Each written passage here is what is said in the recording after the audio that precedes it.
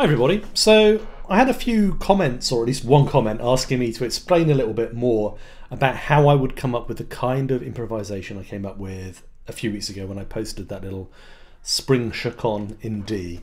Um, and uh, I certainly don't regard myself as being any kind of an expert in Baroque or classical improvisation. I'm kind of learning it as I go along. Um, I enjoy it a lot, so um, hopefully you'll find some of the things that I sort of talk about here to be helpful in your own improvisations, perhaps not just in Baroque music, but maybe in jazz as well. Um, so uh, the first thing is the form of the piece I was playing. It's a chaconne. Um, chaconnes, in common with uh, quite a few different types of Baroque um, piece uh, or dance uh, music, has a very repetitious bass line. Um, most chaconnes basically have a, a bass line of, of, a few bars length that repeats over and over again. Um, and this they have in common with things like passacaglias. Often the two terms are used independently or like interchangeably. Um, and uh, more generally, those things are sort of referred to as a ground bass. But uh, you know, ground bass can be quite a long thing. So, for instance, in the Goldberg variations, it's a long ground bass. Whereas in this case, um, this bass line is very similar to the first few bars of the Goldberg variations, albeit in a different key. But um, I don't go in all the sort of various directions with it that Bach does. And then um, obviously um, it allows him to write a longer uh, piece of music. Um, but this is just short and I'm just getting started. So um, hopefully by the end of this video you'll have an idea of how to go about improvising or at least constructing some kind of a piece on this idea. So the bass line itself is very simple. We're in key of D. So the, it's really consisting of two sections. The first section is a what, what they call a, a tetrachord, which is four notes going down, right, basically. So going down stepwise in a scale, in the key of D, it would be D, C sharp, B, A. So walking down to what you might call the dominant or five of the key, okay? And then the next bit, we go into what might be called a cadence, right? Which means we're going back to chord one. And to do this, we start off on the third degree of the key, which is F sharp. And then we go to four, four, five, one. So three, four, five, one, uh, which reminds me of um, weather report for some reason. Okay, so um, uh, yeah. So um, obviously, hopefully that's nothing crazy and out there. You know, we've all come across these movements before in music. Um, the Beatles were quite fond of this one. You know, Oasis even, and of course, you know, 451 is a familiar movement from uh, uh, all kinds of music. Where this differs a little bit perhaps from the kind of jazz improvisation where you have a set chord progression, like a 12 bar blues, for instance, is that the bass line can support quite a few different harmonies and melodies depending on how you go about it. So um, I'm going to try and avoid talking too much in the language of figured bass for this video. It's difficult. Um, if you want to learn more about figured bass and some of the basic concepts I'm talking about, please check out the video that I did on figured bass. Um, it, it explains the basic concepts hopefully clearly so you can understand them. But really um, the upshot figure bass, which is basically a form of harmony where you have numbers which indicate the intervals or chords to be put on the bass line, um, has taught me to, I think, understand harmony in a much more counterpoint oriented way, okay, in terms of intervals rather than in terms of, you know, uh, one, four, five, and so on, you know, like functional Roman numeral chords. And that's quite interesting. Um, I think it has a knock on effect for things like um, jazz um, like Barry Harris system, for instance. But um, I'm getting ahead of myself, right? So um, uh, probably uh, let's start off with a simple two voice thing. And this is kind of what I do at the beginning. I kind of just really take um, just a, a, tenth. So a tenth, if you don't know, is when you go up the scale. Um, one, two, three, four, five, six, seven, eight, nine, ten, like that. Um, it's like a third, but up an octave. Tenths are brilliant, by the way. You can play things like this with them. You know, uh, Thelonious Monk absolutely loved them. Pianists generally love them, um, although they're hard to play. On the guitar, they're relatively easy, and you have pieces like Blackbird, which rely on them, and they fill up a lot of space, even though they're very, um, you know, they're, they're just two notes. And tenths also form the basis of things like our well-known kind of drop two chord shapes and so on. So the tenth is one of the most useful intervals on the guitar, whether you're playing baroque music or jazz or whatever, really. So if you listen to my melody, it's basically.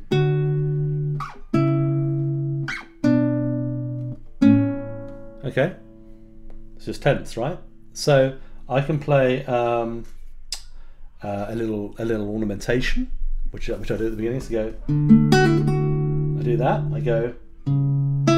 So we're just doing uh, a little da da da. I don't know what you call that. Um, I always get confused with cl- cl- uh, classical ornaments. Is it a mordent? I don't know.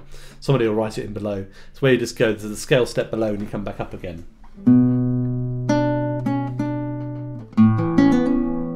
So that's basically my opening, my opening gambit, if you like, and that's all just based on tenths.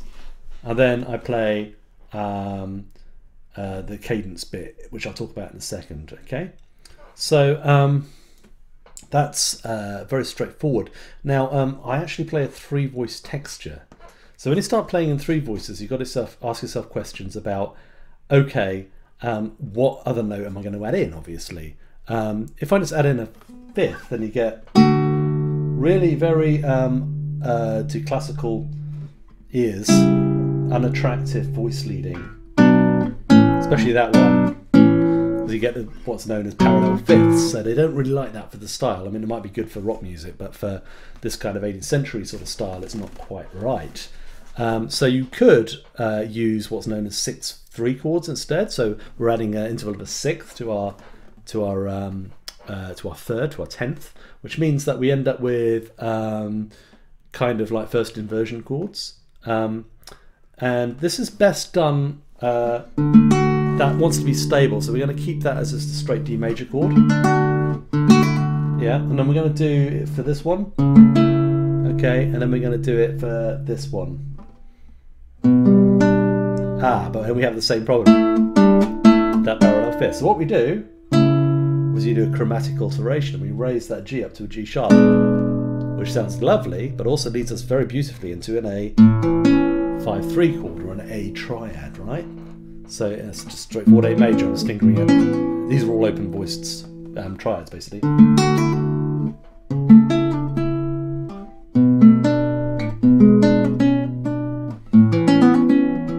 That sounds nice. So this is what actually gets called the rule of the octave, right? It's very, very simple way of harmonizing a descending bass like that. Uh, but we have the melody is a third each time, in much the same way as, you know, for instance, All the Things You Are, the melody is a third above the bass line. Okay, so that'll do for us uh, for our first little thing. And then for the next bit, we want some chords to go with this part of the bass line. So it goes D, F sharp, G, A, B. Okay, so um, D, put the uh, D over an F sharp, you know. There. So this is known as 6-3 chord. First inversion chords are called 6-3 chords in figured bass. Standard, you know, G major. Okay, and then uh, what are we going to do? Sorry, it's this one. It's uh, A major, of course. So nothing fancy there. I mean, these are all cowboy chords, right? So, and then we go. Um, uh, you'll see. The bass line is kind of the most important thing here. Remember, okay.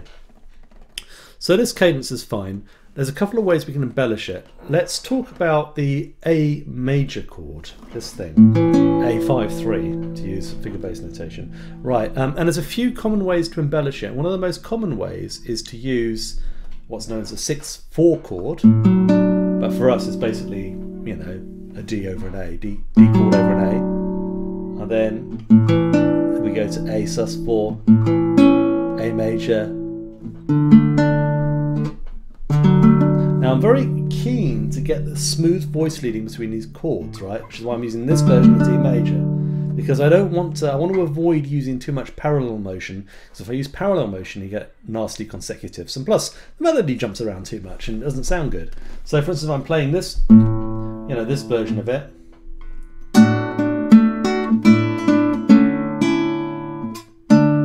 might use that or this. If I'm playing down here, and then just to keep the chords connected by steps, right? This is obviously the same as you would if you're comping um, a jazz chord progression, for instance. Okay, so thinking about the melody, but also that probably helps with the rest of the uh, the harmony as well. So again, just to recap, we're using that six four chord, which is in this case a D with an A in the bass, and then A sus four, A major, and then going to D major with the D on top there, right? So the whole thing kind of looks like this. Oops, sorry.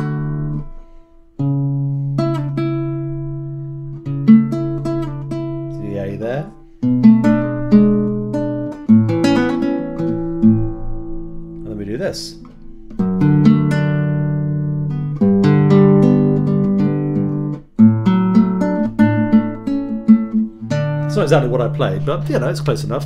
Okay, now, ah, ah. That's the point. I, I want to get from this nice D slash F sharp chord, or F sharp 6 3, I want to get down to a, a G major or a G 5 3. But there's a little stepwise. Do I use C sharp or C? C sharp's in the key, but I tell you what, C sounds really nice.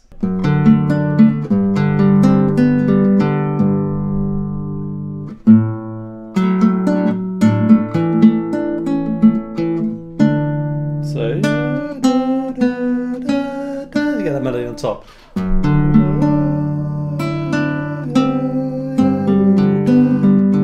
Sorry, sounding a bit better now. And so I did something. Uh, I used a suspension, so it's like uh, uh, going from so so then D7 there. See. So you can put the C on the D, maybe. G sus 4 to G, and then.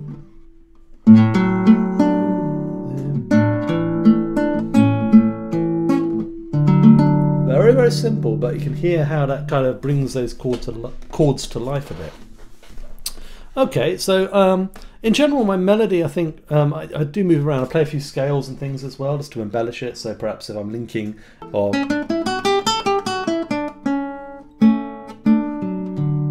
might just play that as a little a little diminution, a little to lead us in. Or you could go something like this.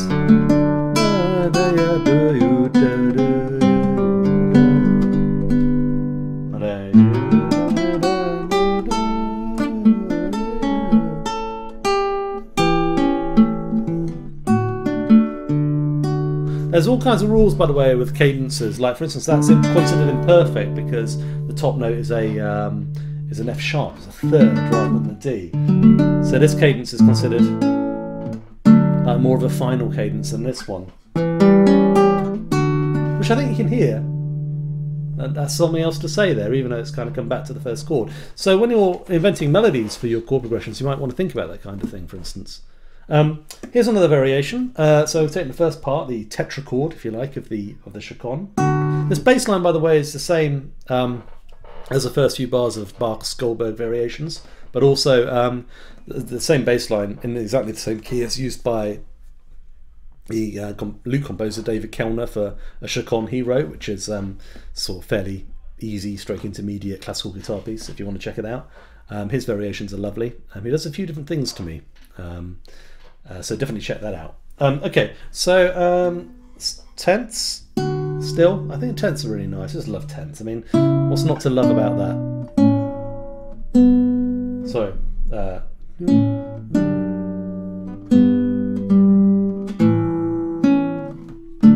there's a really simple way of playing that.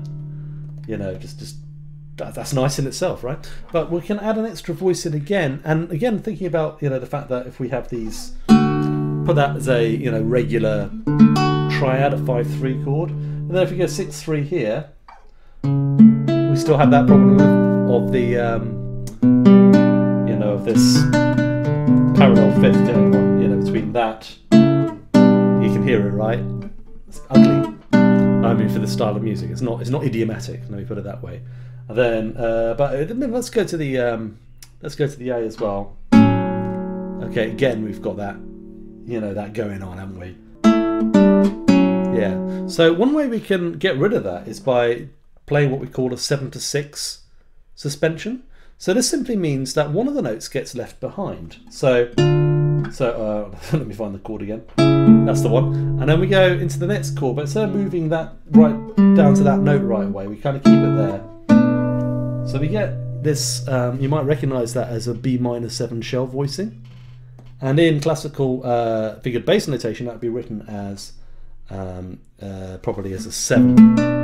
There's no fifth in there. You put fifth in there if you want, but that's, that, that, that's a whole other can of worms. Just going to keep it to keep it at three voices, right? Lovely. And then we can do that six resolution. Do the same thing here. Same thing, going from seven to six. Yeah. So anybody who's spent any time playing things like you know Freddie Freddie Green rhythm guitar parts knows the seven to six um, suspension. It's called a suspension because you're basically taking a note that's in the last chord and kind of carrying it over into the next one. Like that. So it's kind of, you know, instead of going all down together, one's going, eh, the other one's going, eh, eh, eh. so they're moving at different times, basically. I don't think that's very clear. Um, so I use that as a, as a variation. Um, and I think that sounds really nice. Um, another variation I use, um, usually the cadence is the same kind of thing, although I might hang a little bit more on the sixth 4 chord.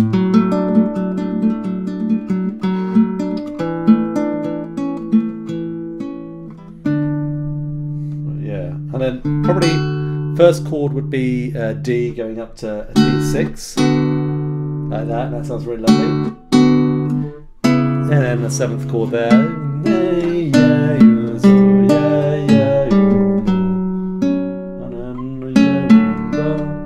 Again, a, a, suspension creates this D major 7 over F sharp sound going up to D. And then. Beautiful chords, right? And then.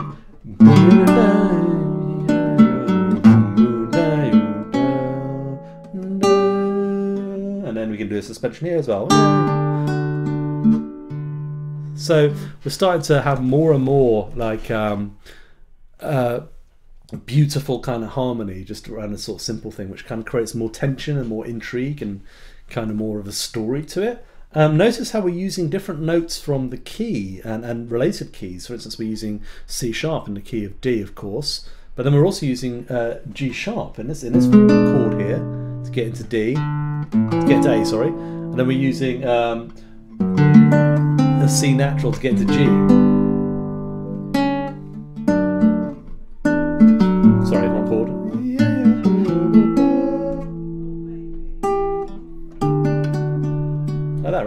So um, you're kind of using the Mixolydian and Lydian modes as well, if you like, or in uh, 18th century terms, they would call that the hard and soft hexachords. I mean, don't ask, but you can hear how we're kind of using sort of near keys, and I suppose in modern functional harmony that would be considered to be like secondary dominants and dominants of the dominants and things like that. Um, but we're not really thinking about any of that here.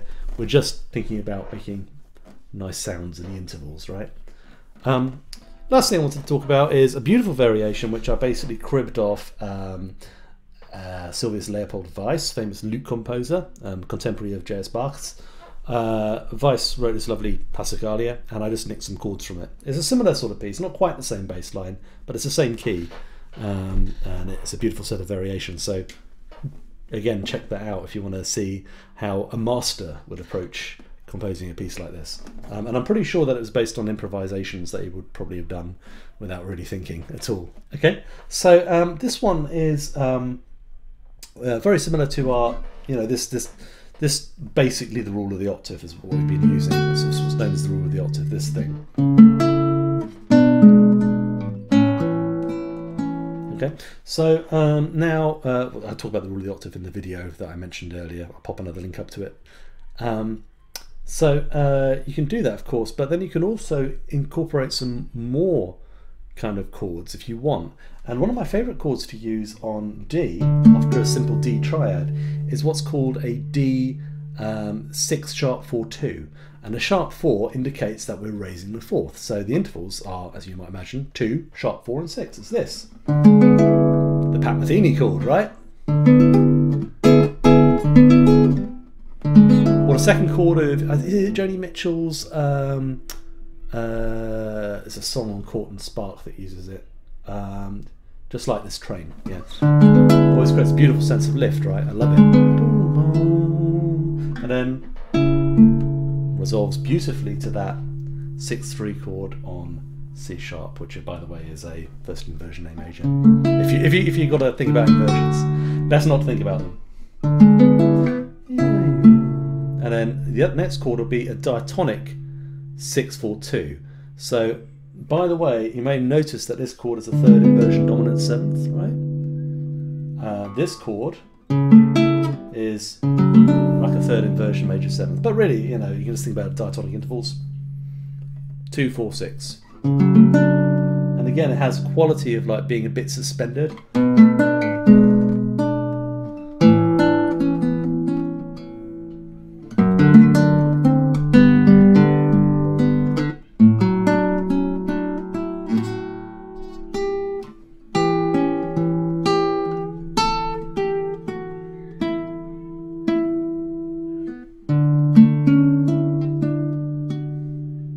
One of the most beautiful things about classical harmony for me is the way you can take like, um, you know, chords and, and, leave bits behind and then catch up, you know, uh, sort of this kind of thing.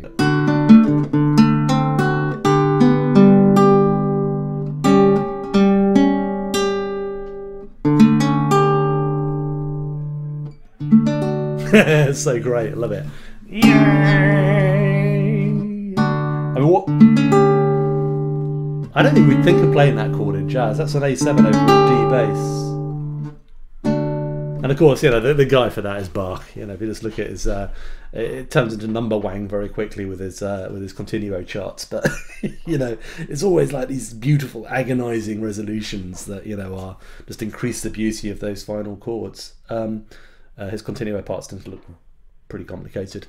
Um, I hope you find that interesting. Um, this is something that I'm going to be doing a lot of videos on, and they'll probably get zilch views, but you know, I'm going to do it anyway because it's something that interests me. I hope you find that helpful, and uh, let me know any comments or questions you might have below, as always. Thanks for watching.